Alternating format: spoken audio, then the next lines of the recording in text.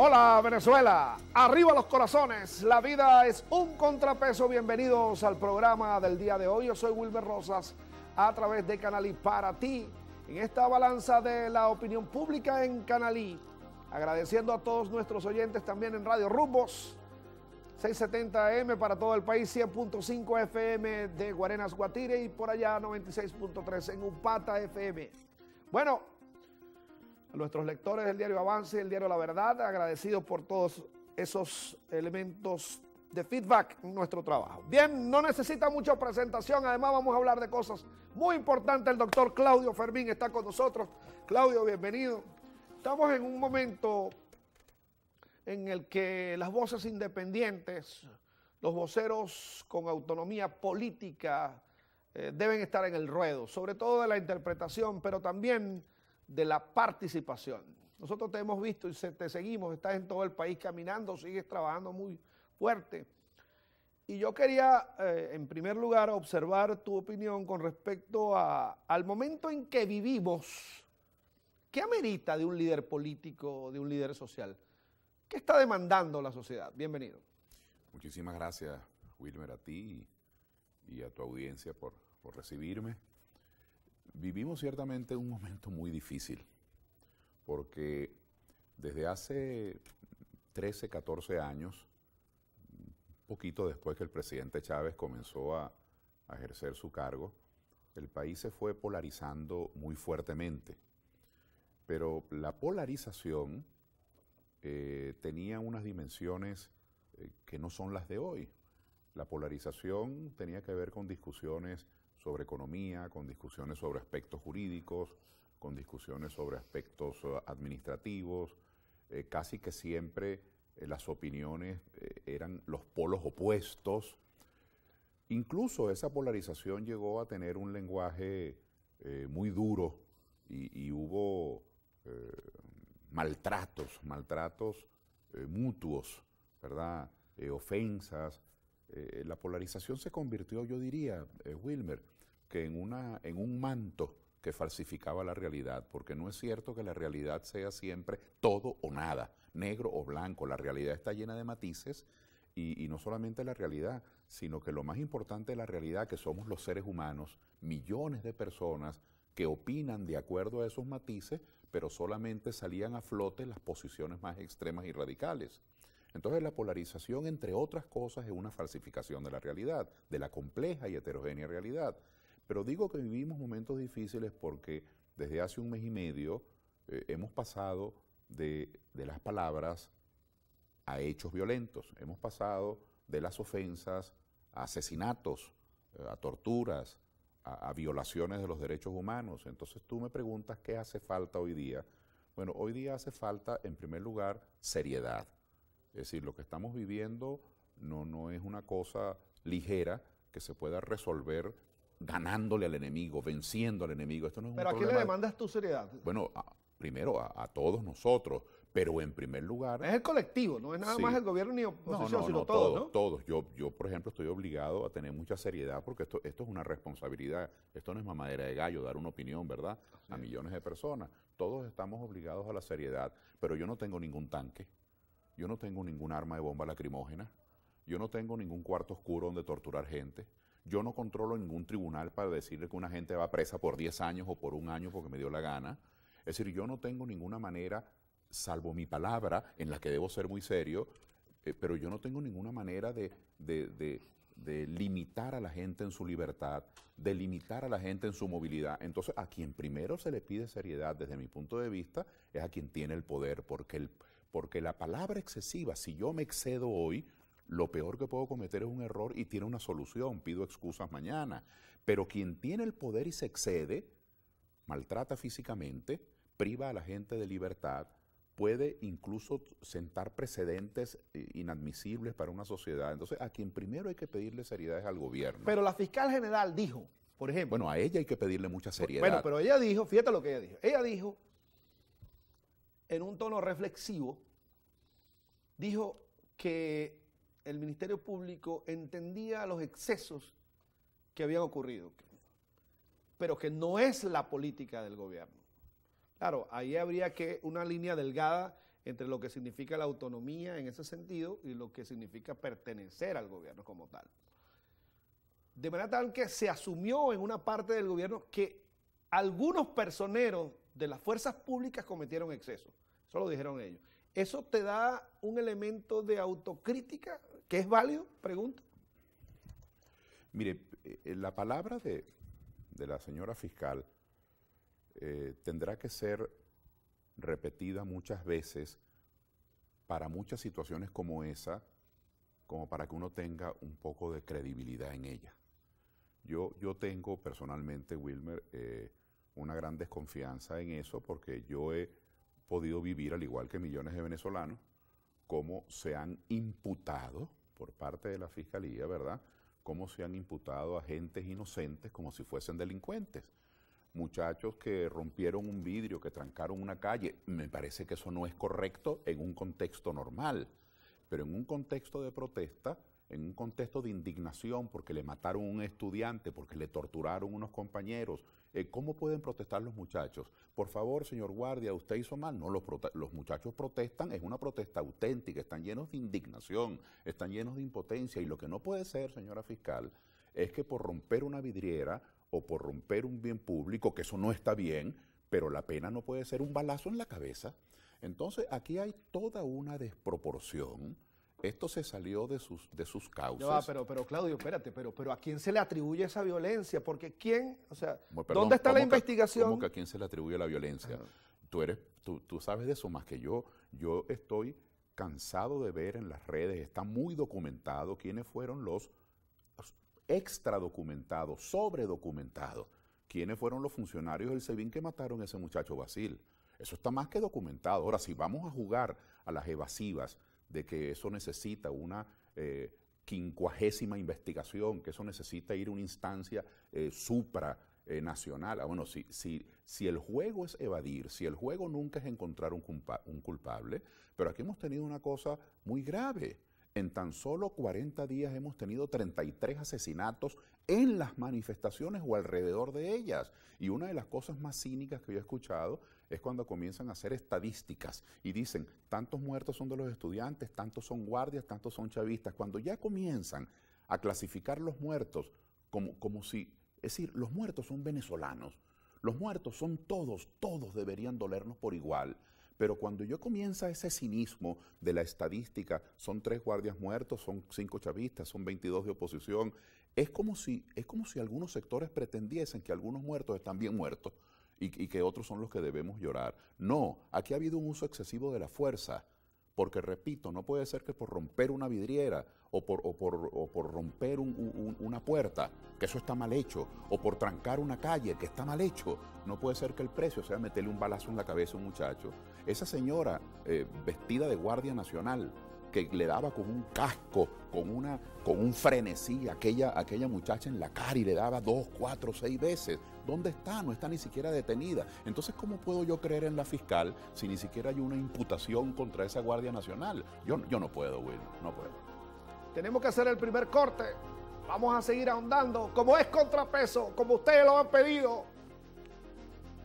Y ya voy a hacer un comentario muy obligado que nos están diciendo que nos están sugiriendo nuestra conciencia, la reflexión. Ya venimos, ya venimos.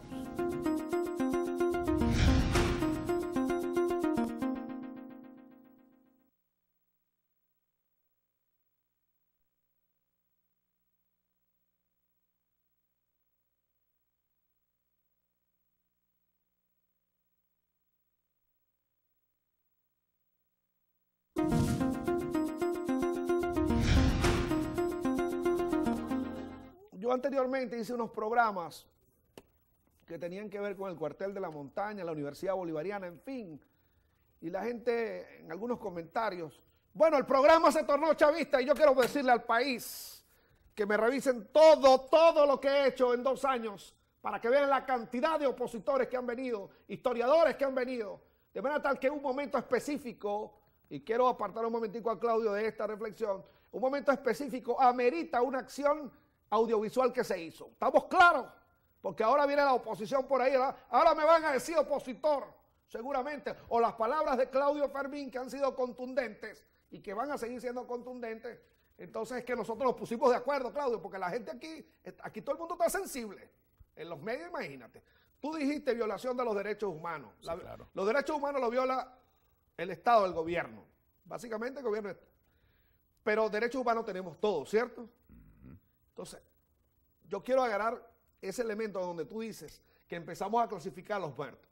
Es que van tantos de estudiantes, tantos de este lado, tantos del otro, ¿no? Y los derechos humanos este, solamente es para este lado, ¿no? Yo creo que el momento de, de mucha responsabilidad de todos los que hacemos opinión pública y dirigencia política tiene que ir más allá. Es decir, hay que parar esta violencia, esta ola de violencia. Claro que hay que hacerlo. ¿Y cómo se detiene? Hay que pararlo y, tienes tu razón. Cuando yo observé, porque está documentado, es que una de, las una de las cosas eh, inéditas, digamos, de todo este proceso es que las investigaciones, eh, la búsqueda de la verdad, por decirlo así, eh, cada día está más, más auxiliada, más reforzada, porque todo está grabado un guardia nacional, un muchacho joven, lo mataron ahí en Los Ruices, pero está grabado que lo mató un colectivo.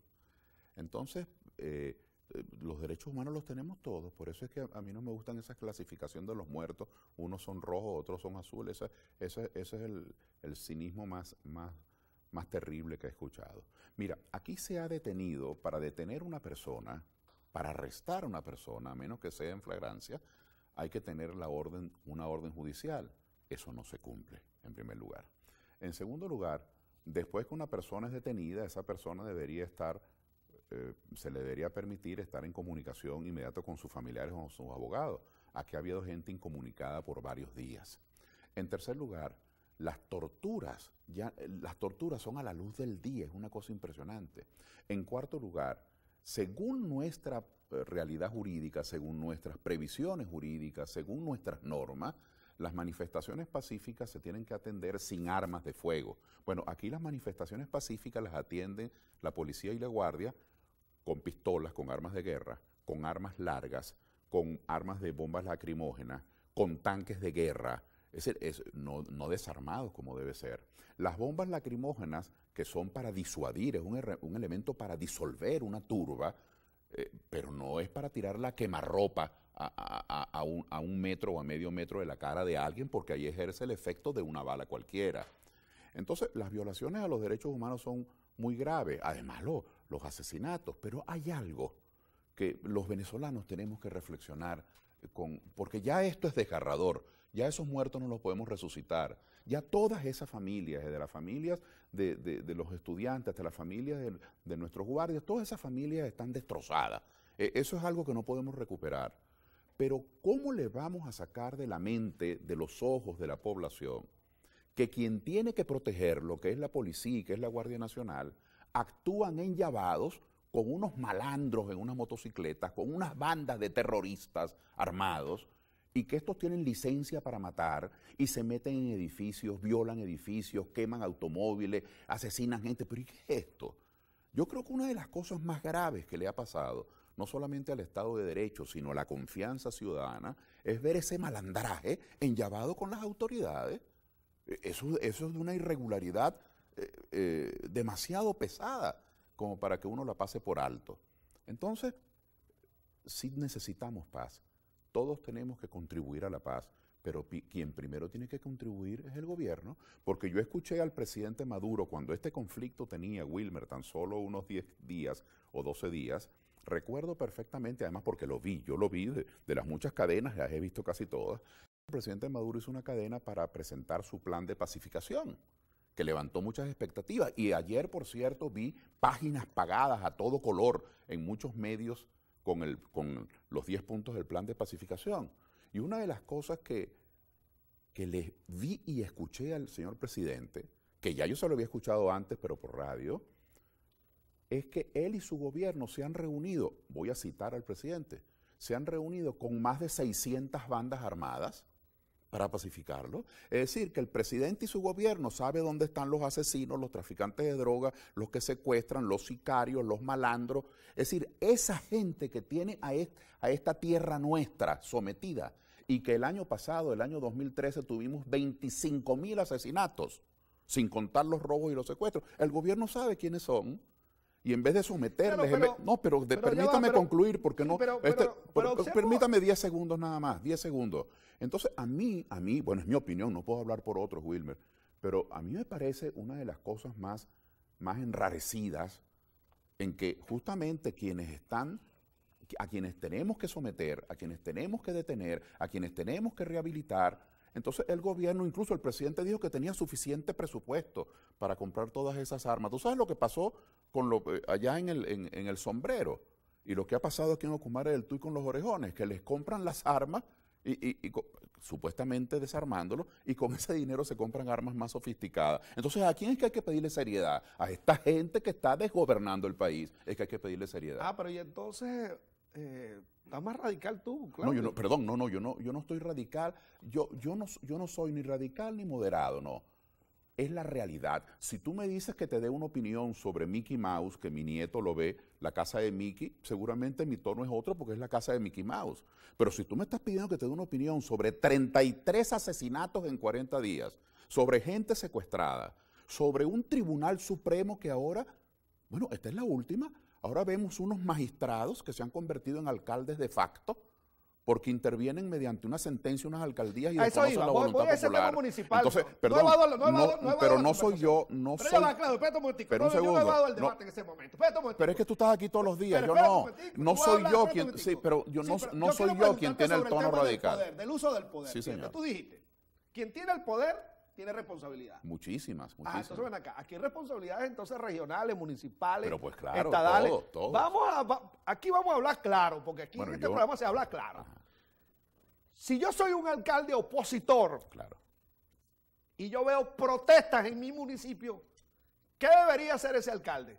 Sugerir un tipo de protesta para que este, no termine en actos de violencia, supongo yo.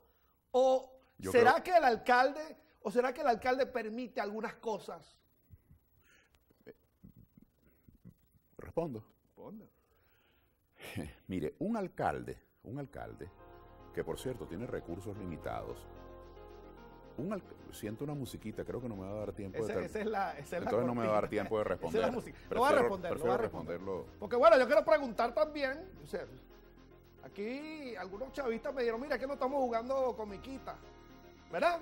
Aquí estamos en un momento político álgido. Entonces yo quiero preguntarle si esos alcaldes que están relacionados con la oposición no han estado también sugiriendo cosas. Al regreso, Claudio. ¿Cómo no? Ya veremos.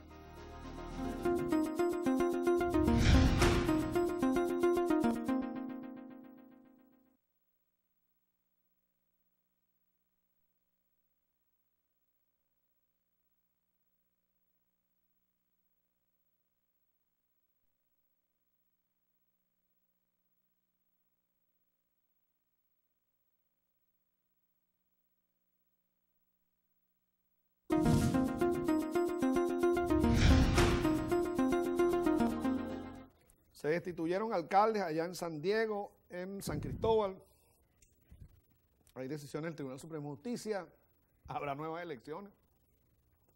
Pero ciertamente hay que revisar esa situación por el tema de las competencias de poder o las limitaciones en los recursos para disuadir las manifestaciones. Y tú ibas a abordar esa respuesta, pues. Sí, bueno, son varias cosas. esa pregunta. Primero, los alcaldes, que son autoridades de un municipio, o los gobernadores, que son autoridades en un estado, o el presidente, quien es, una autoridad electa a nivel nacional y luego designa ministros, o los diputados a la Asamblea, que son representantes y autoridades a nivel nacional, y ellos después, en segundo grado, designan unos funcionarios, funcionarios, no que son electos por nadie, como unos jueces que se llaman magistrados del Tribunal Supremo de Justicia. Es decir, mientras un alcalde es designado por la voluntad del pueblo, hay un deseo del pueblo. Estos magistrados, mira, tú le preguntas, permíteme dirigirme a tu audiencia, yo le pregunto a ustedes quiénes son los magistrados del Tribunal Supremo de Justicia y, les doy hasta, hasta mañana. Y, y, dudo que lleguen a poner cuatro nombres o cinco. Usted no sabe quiénes son, nadie sabe quiénes son. son una gente anónima, una gente desconocida que fueron nombrados en la Asamblea Nacional porque tenían cercanía con el partido de gobierno. Entonces, estos señores están desconociendo la voluntad de los pobladores de San Diego al destituir al alcalde de San Diego, están desconociendo la, voluntad de los tachirenses que viven en San Cristóbal al, destituir al alcalde Ceballos, en primer lugar. En segundo lugar, ellos dicen que hubo un desacato.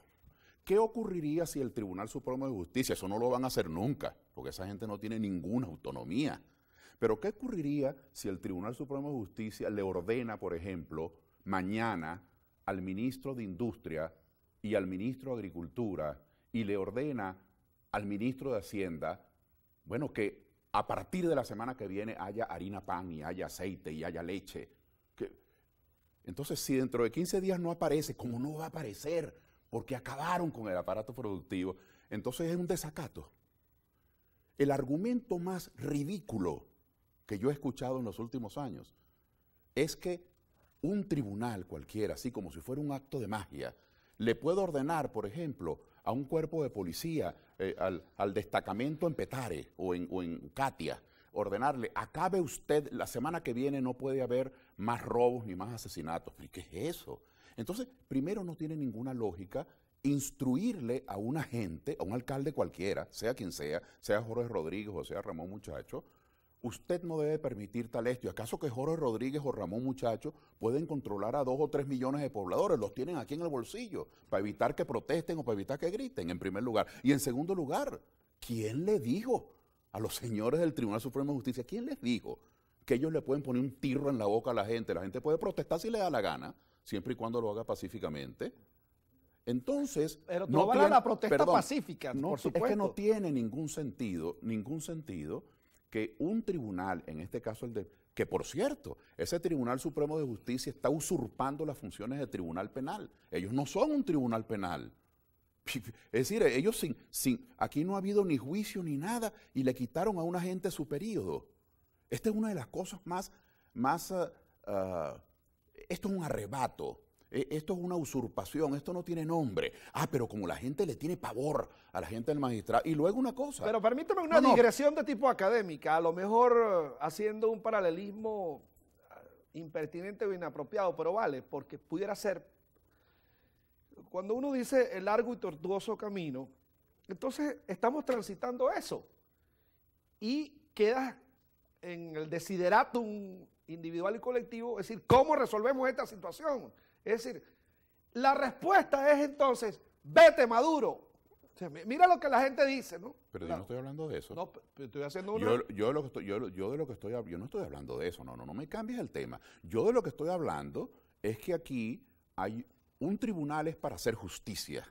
El máximo tribunal se considera el techo, el tope de la pureza de la justicia. Y como yo lo percibo, es mi opinión, y no me la puede callar absolutamente nadie, a menos que me corten la lengua, ¿verdad? Y si me cortan la lengua, la hago por seña. Mi opinión es que esos magistrados, como yo los percibo, los percibo al servicio de una persecución política y los percibo usurpando una función. Ellos no son tribunal penal y luego ellos no son nadie para desconocer la voluntad popular. Entonces, si aquí mañana, insisto, si aquí mañana un tribunal o ese tribunal o esos magistrados le dicen, por ejemplo, a Jesse Chacón, le ordeno y le instruyo que no haya más apagones. y, Jesse y resulta que, bueno, por, por, alguna circunstancia hay otro apagón, entonces ellos destituyen a Jesse Chacón. Es decir, es tan, es tan ridículo el argumento, porque hay contingencias, porque hay hechos, hay acontecimientos que no dependen del funcionario. Eh. E incluso la función, e, y te voy a decir una cosa, si no han, yo vi como en la Plaza Altamira, en la Plaza Altamira metieron una cosa grotesca, grotesca. Mientras siguen, mientras siguen secuestrando gente y matando gente y traficando droga y burlándose del país en las fronteras con el contrabando y haciendo 40 mil cosas, metieron 500 guardias en la Plaza Altamira. Entonces, 500 guardias nacionales no pudieron detener una protesta. Todo un ministerio de la defensa con el ministro Rodríguez Torres que se moviliza y todos sus uniformados y todas las armas no pueden detener una protesta. Entonces, un pobre alcalde va a detener una protesta. Perdón, Y aunque pudiera, esa no es su función. Entonces- la función de un alcalde demócrata Ajá. no es callarle la boca a la gente, es escuchar a la gente. ¿Por qué se dieron todas estas protestas, Wilmer? Vamos al comienzo del, del asunto. Todas estas protestas nacieron porque los muchachos del Táchira vieron cómo estuvieron a punto de violar a un estudiante y en vez del gobierno darle una respuesta y decir, vamos a poner vigilancia en la universidad, vamos a brindarle protección a los muchachos, lo que hicieron fue reprimirlos, mandarlos para la cárcel. alcaldes de- no se vincularon con la protesta. Perdón, es que, bueno, y mi pregunta es, ¿y si se hubiesen vinculado? Entonces, cuando tú eres alcalde, tú no tienes derecho a protestar. Es decir, el presidente Maduro sí tiene derecho a hacer cadenas todos los días y a insultar a quien le dé la gana. Pero, Claudio Fermín, no, Claudio. Fermín no cree en la fiscal general. Claudio Fermín no cree en el Tribunal Supremo de Justicia. Claudio Fermín no cree en la... Yo no he dicho eso. Ah, pero como tú me dijiste que no tenía credibilidad No, la fiscal aquí, tú lo dijiste Pero aquí, eso, Claudio. pero eso no, no, pero eso es un resumen demasiado. Yo no estoy hablando del, de la fiscal general o del, o del, o del Tribunal Supremo abstractamente. Me estoy refiriendo a hechos concretos. Estoy, no, me estoy refiriendo a la persona. Me estoy refiriendo que la Fiscalía General han imputado una cantidad de gente inocente, y eso es verdad. Yo vi una, están una cantidad de muchachos estudiantes que han sido imputados como si fueran delincuentes, como si fuesen criminales. Los han mandado que si para Tocorón, que si para la cárcel de Coro. El malandraje en la calle haciendo de la suya. Y estos muchachos por protestar los imputan. Eso es una vulgaridad. Yo he visto el Tribunal Supremo de Justicia, ah, ¿tú- ¿tú sabes cuán- de esos 40 mil internos que tenemos en las cárceles venezolanas donde hay, donde hay sobrepoblación y promiscuidad? Todo el mundo conoce de los retardos procesales. Hay más de 12 mil casos con retardos procesales, gente que tiene 4, 5 años, 6 años en una cárcel y todavía no los han rematado, como dicen los presos, o no les han dictado una sentencia. Ah, pero aquí, con un alcalde que es un adversario político, el todo de la charada es que lo quieren sacar para convocar una nueva elección. Aquí hay una gran arbitrariedad, una gran arbitrariedad. Los jueces y los magistrados no pueden actuar, no deben actuar, al menos eso no es lo que los venezolanos esperamos, como si fuesen fichas de un partido político. Y la voluntad popular no puede ser desconocida. Ahora, esa es mi opinión. Otra gente, seguramente el presidente Maduro dirá, los condecorará y dirá que actuaron muy bien. Por eso es que hay libertad para que cada quien opine de una manera distinta. Por eso está- está mal hecho. Por eso está- Así no se conduce un país. Por eso está contrapeso. Y así, Por eso está y así no se resuelve el problema. Esto lo que hace es crear más conflicto. Tengo que ir al corte. Vamos al corte.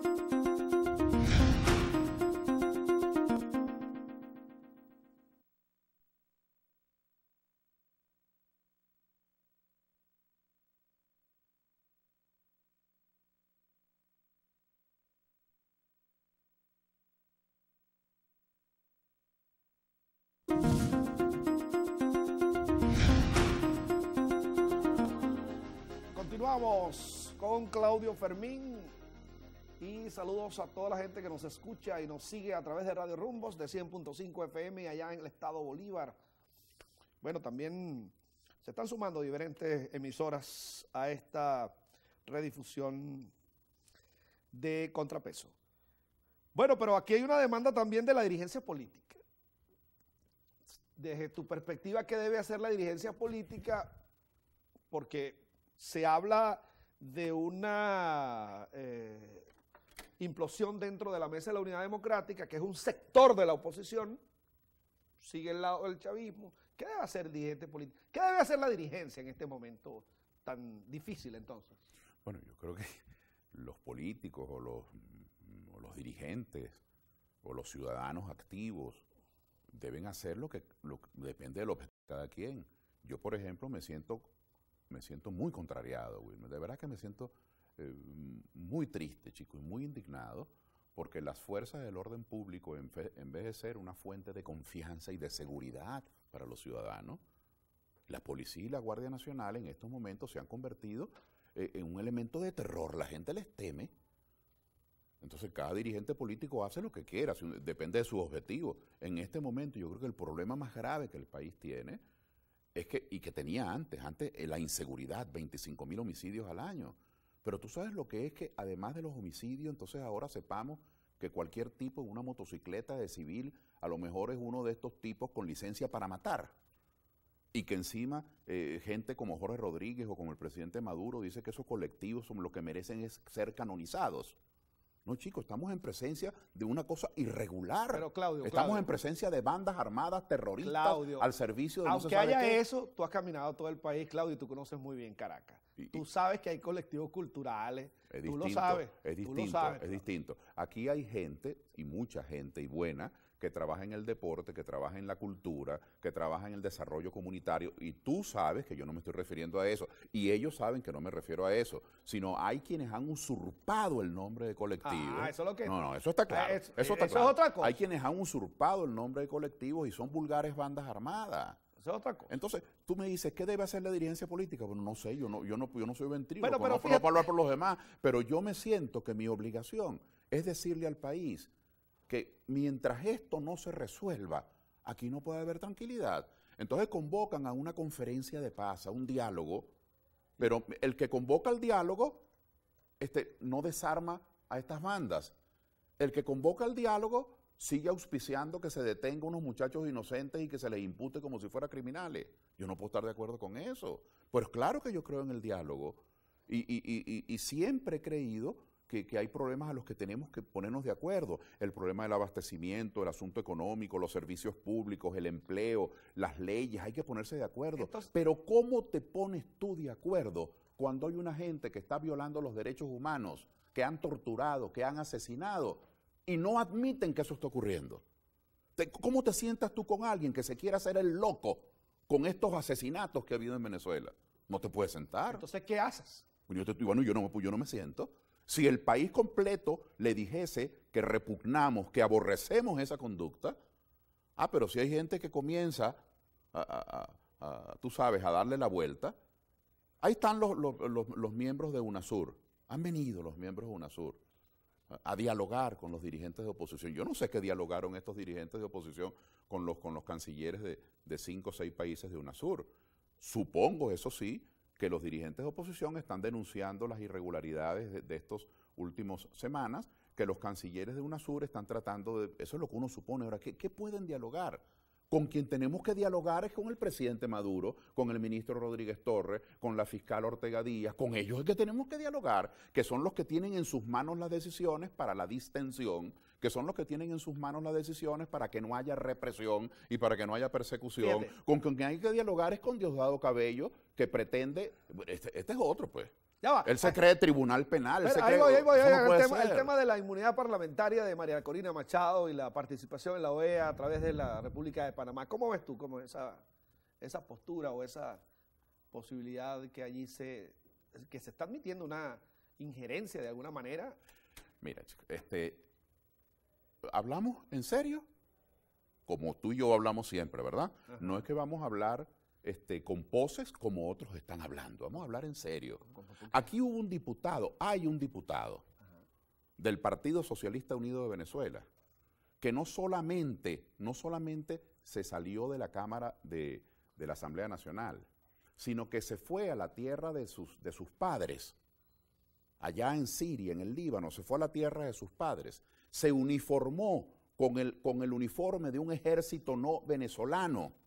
Y el Partido Socialista Unido de Venezuela le aplaudió porque este muchacho diputado de la Asamblea Nacional se fue para allá, para el Líbano, para Siria, a ponerse un uniforme de su país y a guerrear. Ese no fue, ese no fue que fue, que fue a tomar la palabra en la OEA, que por cierto, lo de Machado ni siquiera se concretó porque ni la palabra le dieron. Así que en términos leguleyescos, que es pareciera a lo que otros están hablando, por pura leguleyería, en esos términos podríamos decir que el hecho no se materializó. Esto no fue que fue a pedir la palabra para denunciar una cosa de su país. Este fue que se fue a poner el uniforme de un ejército ajeno, extranjero. Lo cual hay que Pero- rechazar una cosa y hay que rechazar la otra. Pero, mijo, me- pero... Adelante. la palabra. Pero, pero bueno, estás hablando. Sí, Pero pues bueno, yo- Claudio, si estás hablando todo lo que quieras. bueno, No, todo lo que quiero, no, todo lo que tú me dejas. Entonces, ¿qué ocurre? Entonces, este señor que fue a eso, bueno, aquí lo condecoraron, aquí lo aplaudieron.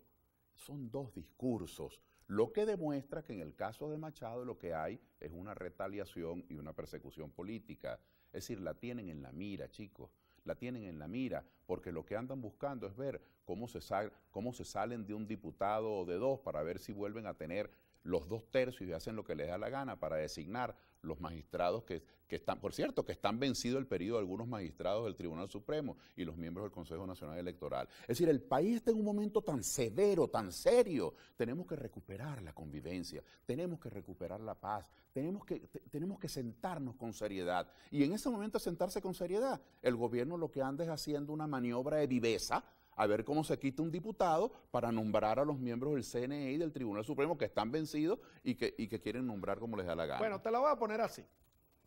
Tú que ahora, bueno, que ahora no, siempre toda la vida, pero sigues caminando por toda Venezuela. el señor de, de, Upata, la señora de Caucagua, el señor de allá de Cumaná, te piden, Claudio, ayúdanos a entender cómo es el camino de la paz. Y yo observo en este programa o la posibilidad de que tú presentes la propuesta de paz. Necesitamos eh, que cese la violencia. Necesitamos un camino a la paz. Necesitamos una real conferencia de paz según eh, te quiero consultar. Entonces, ¿qué propones tú para construir esa paz en Venezuela? Que el gobierno cambie de conducta. Fíjese que el presidente... ¿En cuáles aspectos específicamente? El presidente Maduro convoca la conferencia de paz ahora recientemente cuando se vio metido en este infiernito, ¿no? En, esta cosa horrenda y grave que nos está pasando a los venezolanos. Pero en abril de 2013 el presidente Maduro convocó a los empresarios, a más de 600 empresarios, me acuerdo, y ahí les ofreció acabar con la permisería o la permisología, como le decimos aquí, ofreció proveer dólares suficientes y flexibilizar la ley del trabajo, porque hay gente pues que como la ley del trabajo tiene eh, artículos que le protegen, y, que crean inamovilidad, pues hay gente que hace lo que le da la gana y no va a trabajar y tal y cual, pero todo eso lo ofreció el, presidente Maduro. Al mes, en mayo, ya Maduro los estaba llamando conspiradores que tenían una guerra económica contra el gobierno. A los alcaldes y, gobernadores los llamó a Miraflores hace dos meses y a la semana los llamaba representantes del imperialismo extranjero. Entonces, lo primero que tiene que tener el presidente, en mi opinión, que es la que tú requieres, la que tú solicitas, es un cambio en su discurso. No se puede dialogar mientras tú estás insultando al otro, bueno, mientras tú estás injuriando al otro. Tengo que hacer corte. Nos queda un corte más y seguimos eh, en ese... Entonces, esa es mi primera sugerencia. Esa es tu primera. Primero que haya un lenguaje de respeto. Ya venimos, ya venimos.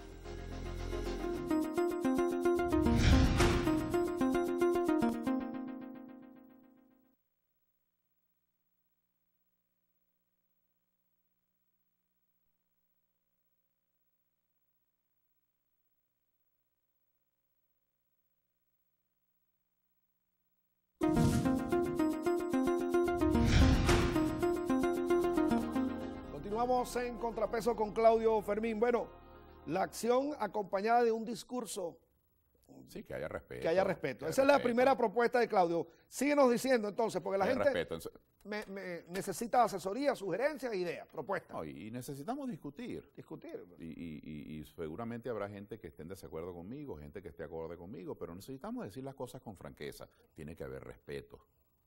¿Verdad? Entonces no puede ser que un señor, porque haga cadena todos los días y porque, y porque esté de un cargo importante como presidente, se permita creer que él quiere más a Venezuela que los demás.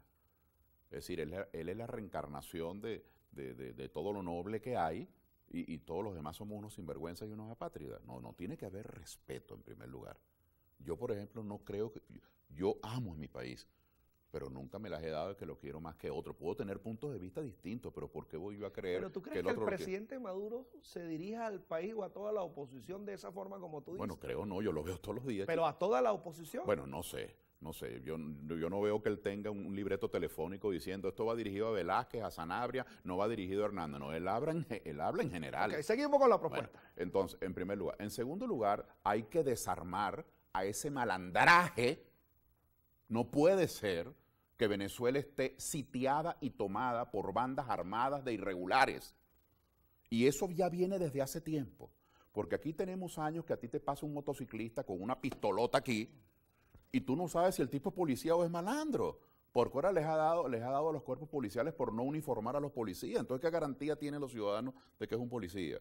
Entonces se para un tipo de eso con esa chaquetota y con dos pistolas y 40 aparatos y te pide la cédula y ni se identifique. ¿Qué sabes tú quién es? Bueno, ahora se oficializó los malandros al lado de la Guardia Nacional. tiene que haber un desarme de estas bandas armadas que han usurpado el nombre colectivo en segundo lugar.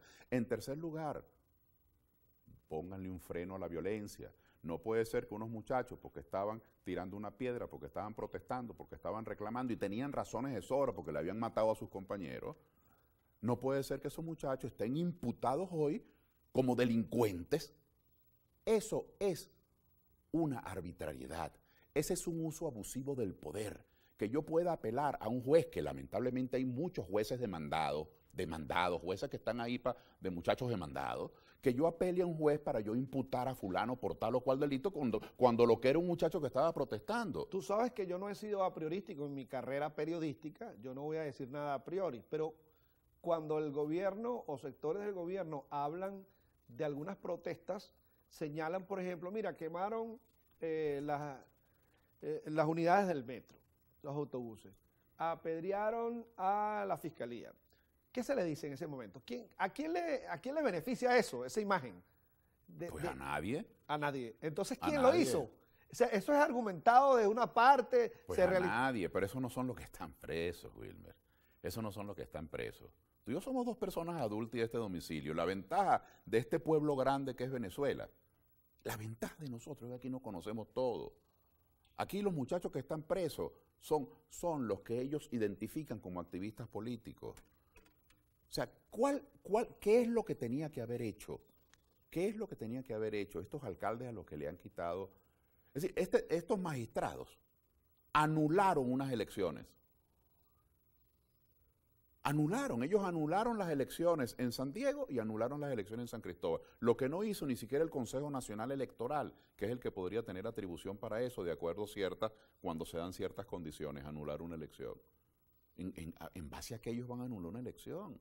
En base a que ellos van a mandar para la cárcel a nadie sin un juicio previo. Ellos son tribunal penal que, como de, de, de facto. Es decir, en el fondo hay magistrados que se están convirtiendo en alcaldes de facto porque son los que dicen esto es lo que hay que hacer. Entonces yo le pregunto a esos señores magistrados, díganle al ministro de Salud, mándenle una orden, ¿verdad?, al ministro de Salud, que haya medicinas y remedios en las farmacias la semana que viene. Porque yo le compro los remedios a mi suegra y tengo que andar sanqueando en cinco o seis farmacias para conseguir una medicina.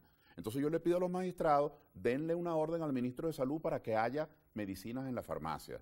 Denle una orden al ministro de Agricultura y, de Alimentación para que haya comida en los mercados. Y si la semana que viene no hay, entonces, bueno, quítenlos del cargo y métanle 12 meses presos. Eso sustantivo, que es el Eso es arbitrario. Eso, eso sustantivo que argumenta la mercadotecnia política de tu discurso está bien, pero tú me estás hablando de las propuestas bueno, estoy diciéndote primero que hay un lenguaje de respeto. Ya me lo dijiste, me hablaste del desarme. Segundo, que haya el desarme de estos grupos irregulares. Tercero, que se revoquen, que se quite esas, imputaciones. esas imputaciones que son un acto de arbitrariedad total. Eso no puede ser. Eso es absurdo. Y cuarto, que se asuma la realidad. Las protestas se iniciaron como un reclamo de la inseguridad. Entonces, mientras los orejones en Ocumare del Tuy y mientras el malandraje en el sombrero en el estado Guárico anda por la libre. Bueno, chicos, José Vicente Rangel Ábalos, el viceministro del Interior, Justicia y Paz, que no sé por qué le pusieron ese segundo apellido que no concuerda con lo que ellos hacen, estuvo en Guiria hace cuestión de una semana en el municipio Valdés del estado Sucre. Y yo, coincidencialmente, estuve en Guiria al día siguiente, que yo andaba de gira por Paria. Y la gente estaba estupefacta porque en plena Plaza Bolívar de Guiria, José Vicente Rangel Ávalo se reunió con los, con los jefes de las bandas de Guiria, con los que trafican drogas y matan y secuestran. Ahí de pana, porque ellos están pacificando. Señores, rectifiquen, por favor.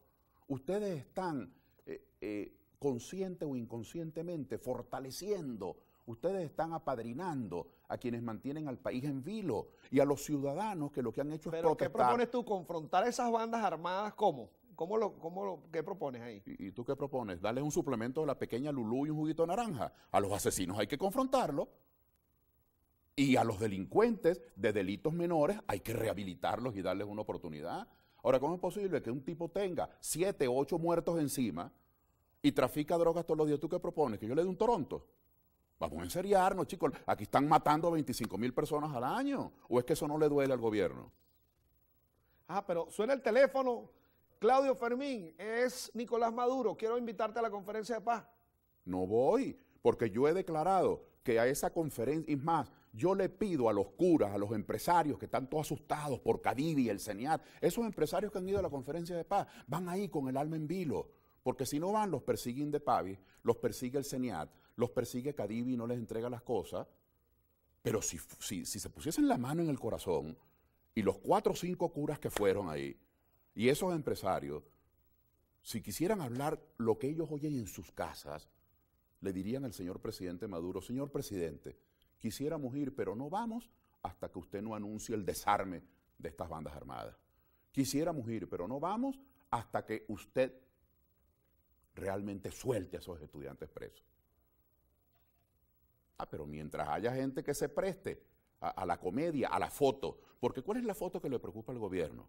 Que en, en el exterior, Wilmer, todos los países en Europa, en América del Norte, en América del Sur, vienen diciendo que en Venezuela hay democracia. ¿Y cuál era el argumento para decirlo? Y que es un argumento cierto, porque hemos tenido ele elección una tras otra. Pero ahora, asesinato uno tras otro.